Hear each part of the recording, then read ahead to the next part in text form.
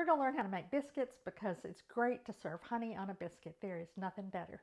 It's a very easy recipe. The first thing you do is put all of your dry ingredients in the food processor and pulse it three times. One, two, three.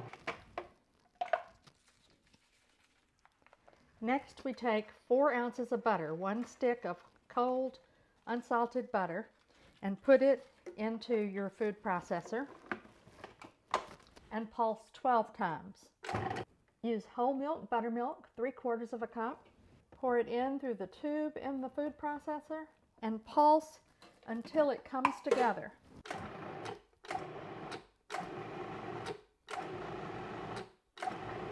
You can hear a difference when it comes together. There we go, it's come together. You don't want to do it any longer than that because working, overworking the dough ruins your biscuits. On a lightly floured counter, press your dough out to about one half inch thick. So get ready a silicone lined or parchment lined pan for your biscuit. You'll need a cutter. I'm using a slightly smaller cutter this time because I want to share these. And then cut your biscuit out. It should look like that. Just a little round biscuit and put it on your cookie sheet.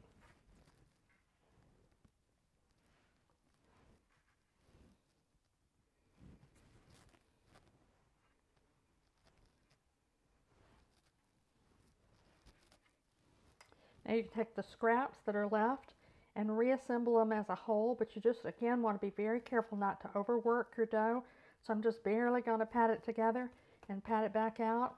These won't be as pretty a biscuits, these last ones, because I don't want to overwork the dough. And so there'll be some splits in the dough, but it'll be okay.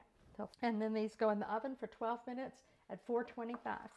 Um, and I always butter the biscuits um, when they come out of the oven hot because it makes um, the butter melt and people like them when they have melted butter in them but you can either butter them now or put them on the table and let people butter them themselves just not so hot that the butter will melt. Now's the moment when I get to taste the biscuit and we'll see what it tastes like. These are beautiful biscuits like this. You want them to look like that on the outside and on the top because that is the way a biscuit deserves to be eaten.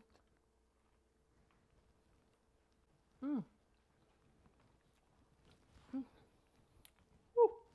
The honey soaks right into the warm biscuit.